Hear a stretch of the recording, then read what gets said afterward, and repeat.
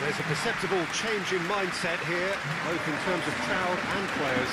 Well, Peter, knockout competitions require knockout mindsets. There has to be a more dynamic edge to the whole approach, whether from going ahead or replying to going behind. This is when the adventure kicks in, and you have to be mentally prepared for a more intense pressure.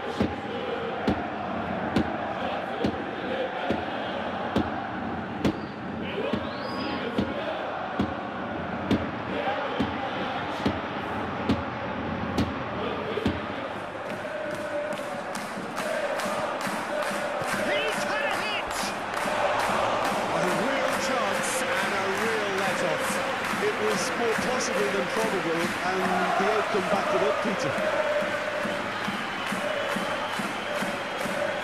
Alexander-Arnold.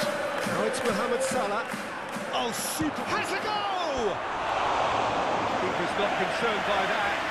He trapped it expertly, Peter, and released it very differently.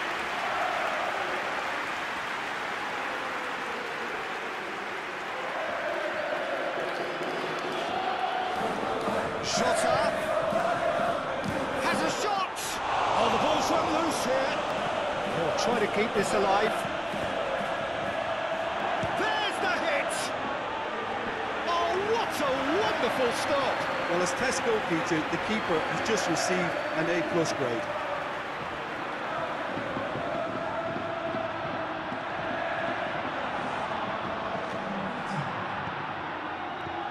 Gets his pass away. Oh, super find.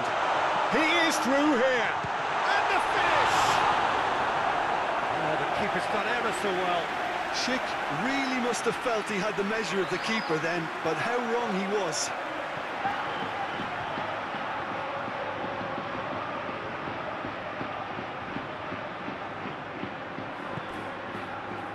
Now it's Diogo Jota. He's got away.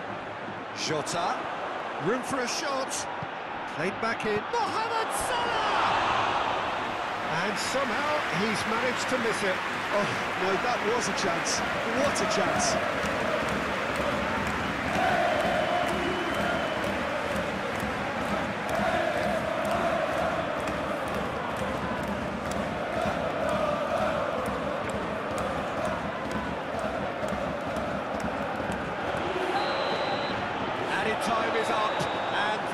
gives the whistle.